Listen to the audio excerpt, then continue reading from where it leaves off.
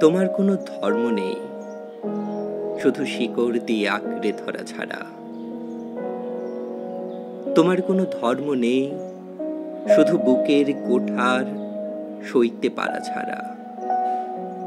পাতাল মুখ হঠাৎ খুলে গেলে দুদারে হাত ছড়িয়ে দেয়া ছাড়া তোমার কোনো ধর্ম নেই।